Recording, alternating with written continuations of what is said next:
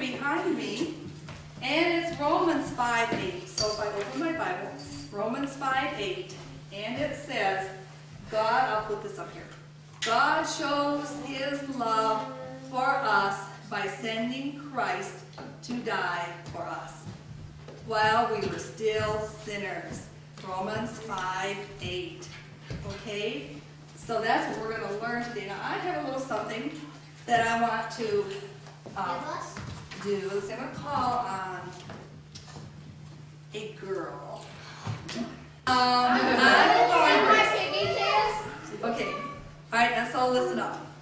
Grace, if I were to give you this heart, in fact, if I gave everyone in the room a heart, what do you think of, of this heart would make you think of?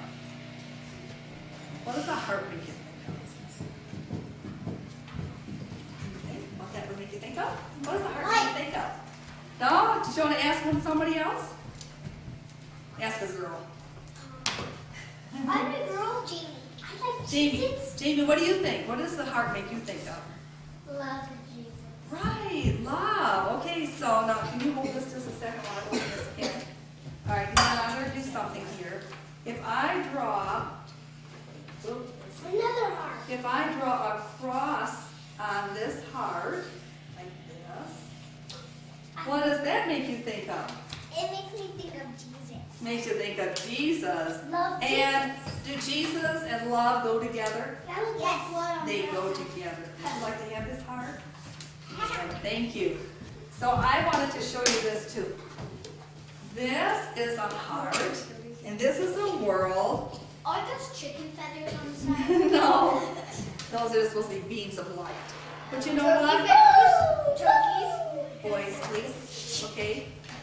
So this heart and, and with the world, that makes me think about how much God loves this world, and He loves everybody in the world. Is that right? Is that right? Is that true or false? It's true. Thumbs up, right? God loves everybody in the world. That's right. So that's what I like this picture because it makes me think of how much God loves You us. don't know? Okay? Okay. Boys in the front row. Do you know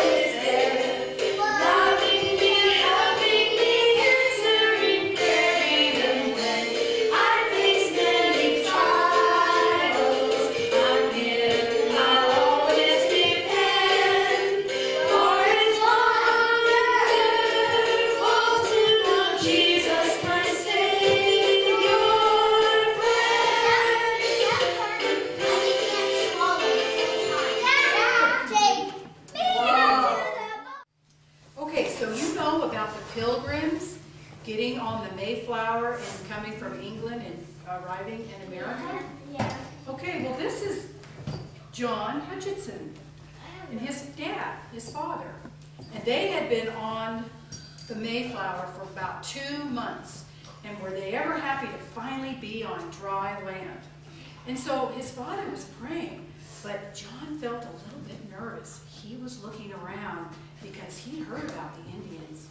He was a little scared. He heard about those red-skinned peop, uh, people that could run really fast. They could ride horses as fast as the wind. And they shot bow and arrows, and it made him really nervous. And then he heard his father pray something really interesting. His father said, Dear Lord, help us to be friends with the Indians. Friends, he thought, how could this be? Now he knew they came to America so they could worship God the way they wanted to, but he was still afraid of the Indians. And he wondered if his little sister Mercy was afraid like he was. He loved her so much and he always took care of her.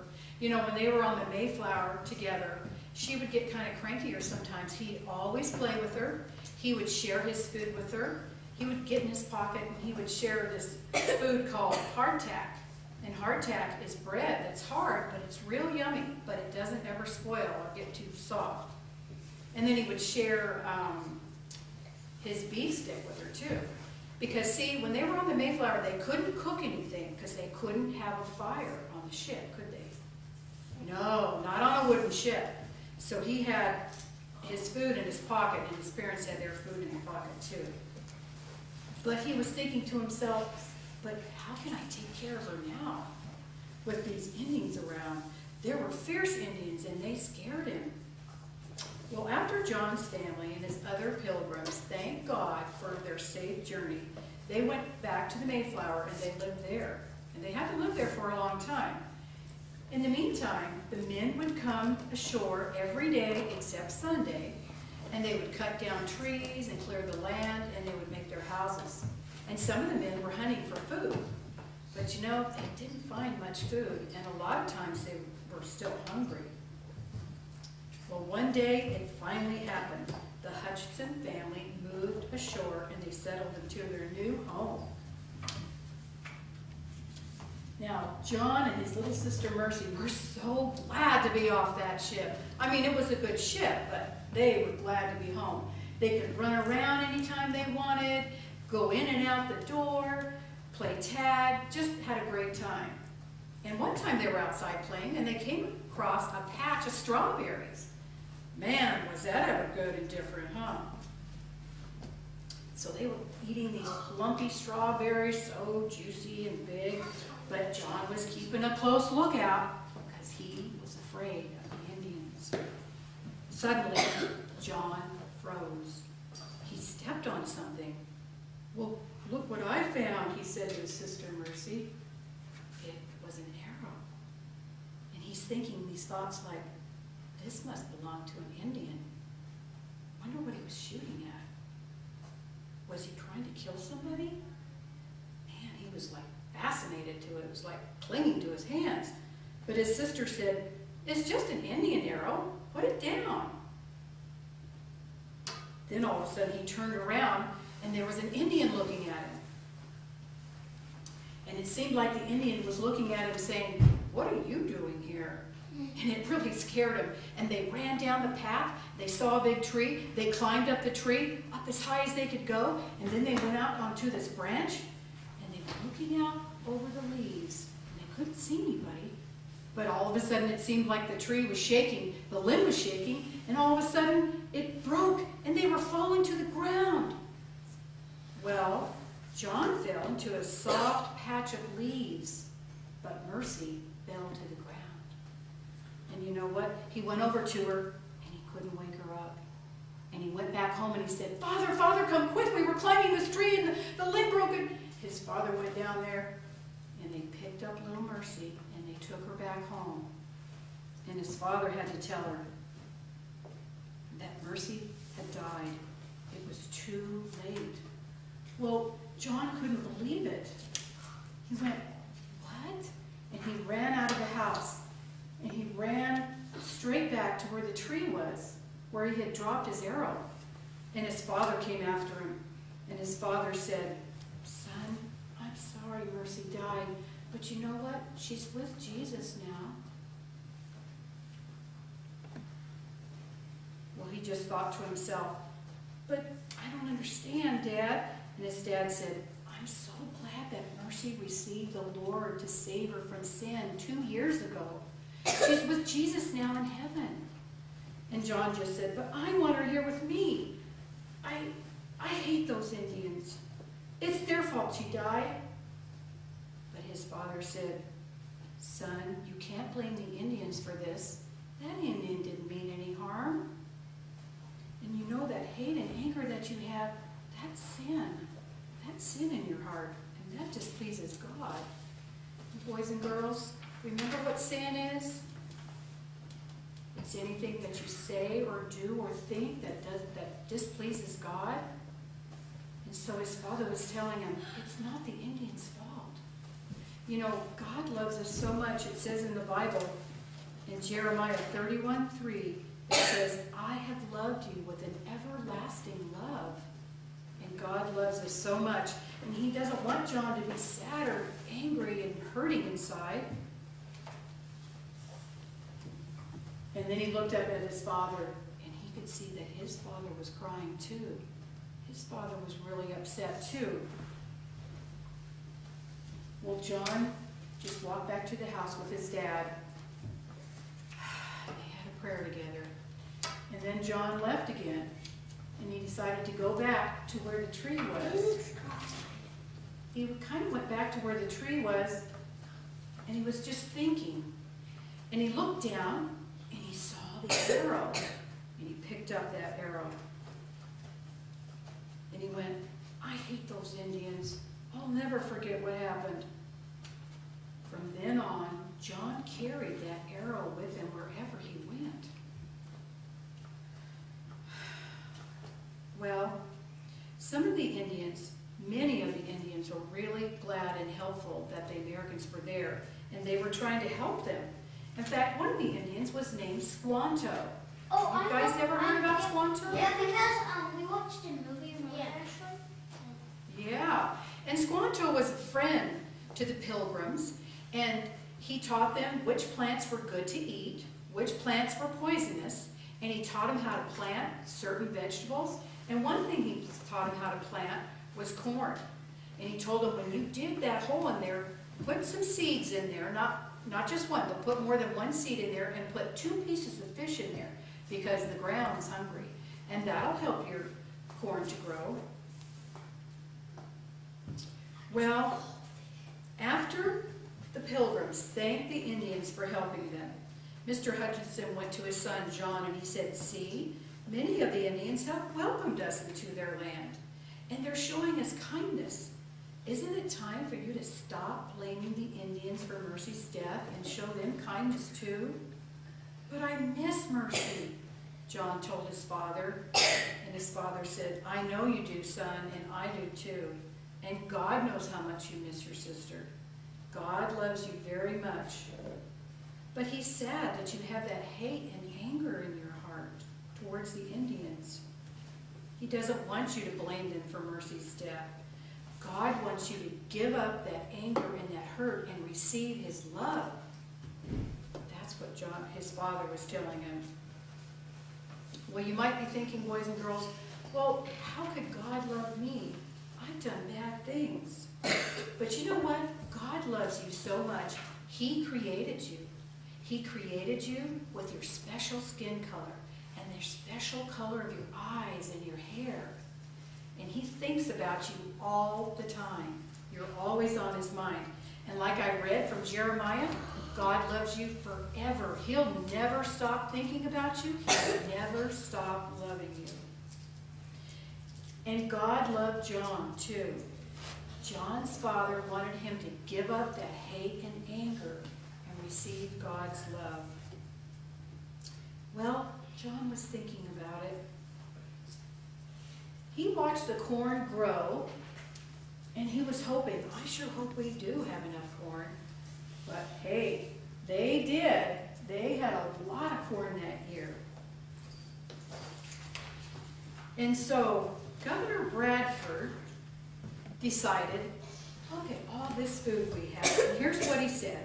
He said, you know, God's been very good to us. We have enough food to put away for the winter. We have corn and fruits and vegetables. We have fish. We have dried fish. And we're just so thankful. Let's have a day of Thanksgiving and invite the Indians to come and join us. Well, everybody thought that was a good idea. Everybody except This guy, I don't know what his name John. is. His name John. John's like, well, I hope nobody comes. So John hid behind a tree. But sure enough, there were Indians that came that day. John was counting them. There was five, ten, twenty, thirty, forty, 50, there happened to be 90 Indians that came. And they were excited to come and be with the pilgrims and celebrate this day with them. And his father went out to them and said, Oh, come this way. Here's the food we have. And his father was just showing him kindness. But John went up to his father and he said, Dad, how can you be so nice to them? If it wasn't for the Indians, Mercy wouldn't have died.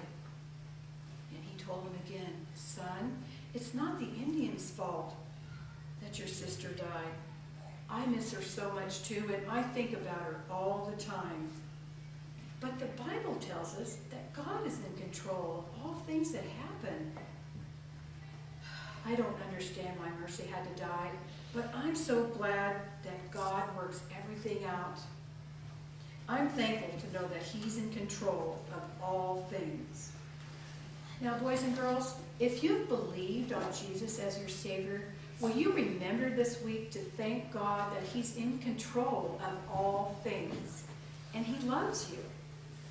Maybe there's things that you don't understand, and I have to admit, I have to tell you this, to be honest. I want to be honest with you. I don't understand everything, and there's hard things that happen. But I do know that God's in control, and I know that God loves me. I know He created me, and He loves you too. In fact, there's a Bible verse here that I didn't know this Bible verse was in the Bible. Sometimes I'd get very discouraged. But this verse is in Romans chapter 8, and here's what it says. And we know that in all things God works for the good of those who love him. And John's father knew that too, didn't he? And that's what he was trying to tell John. He said, I'm so glad that I know God is in control of all things, even the hard things.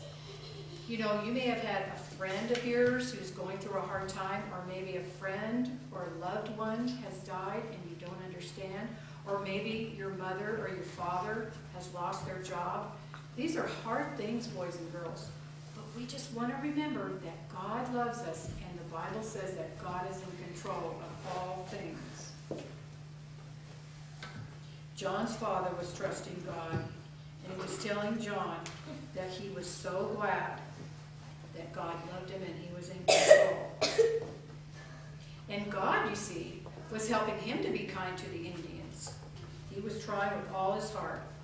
Well, John thought again what his father said, but he still carried that arrow with him wherever he went. Well, soon, after everybody was getting full and they were getting a little tired because they were playing games and playing instruments, they were playing the drums, Governor Bradford stood up and he started to read from his Bible. And this is what he was saying. He was talking about their friendship that they had with each other. And he was thanking God that now the Indians and the Pilgrims were friends. He was telling them all the blessings they had. They had warm houses, they had plenty of food. But he was telling the greatest thing that God has done for us is God sent his son.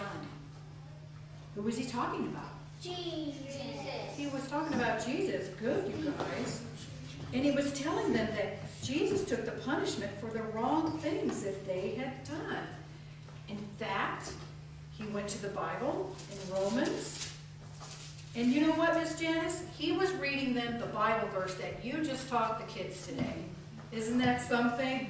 He was reading them Romans 5 8. Remember what it said? God shows his love for us by sending Christ to die for us while we were still sinners. Romans 8. 5 8. So God didn't save us when we were all of a sudden being good. We were naughty. We were doing things that displeased God, but God, because He loves us so much, that's when He sent Jesus. And Jesus wanted to come and take the punishment for our sins on the cross. Even though Jesus never did anything wrong, He was a baby, He grew up, and He never sinned, not once. And bad men put Him on a cross one day, and He died on that cross. They took Him down and they buried Him, and three days later, Jesus came alive again, didn't he? And Jesus lives in heaven right now, doesn't He he? comes, he comes alive every Easter. How about Jesus is alive all the time and he lives in heaven. Easter? Just like God. And if you receive him as your Savior, he will come in your life. Do you know what this means? Rise and go to heaven? Wait, what? A soul like going up to heaven when it died. Oh, I see. Okay, boys and girls, let's see what's happening next. So, John is listening to those verses, and you know what? He started to have a funny feeling inside, and he started feeling yucky. Ugh. So you know what he did? He ran up and he ran away from everybody. And his father saw him get up and go, and he wondered, where's he going? And when he came across Jonathan, John, he was praying. And all of a sudden, John started thinking, I understand. Jesus died for my sins. When I was a sinner, Jesus died for me. And so his father came up to him and he heard him pray this prayer. And this is what he prayed, boys and girls. Dear God, I know I have sinned. I've hated the Indians and I blame them for my sister's death. I'm sorry. I'm sorry. I understand now that Jesus took the punishment for my sin when he was nailed to the cross and died. And I know he came back to life. I accept your forgiveness and your love. In Jesus' name, amen. Wow. Now, after he finished praying, he stood up and he wiped his eyes, and his father was standing there looking at him, so happy. And Jonathan said, I know what I should do. What did he do?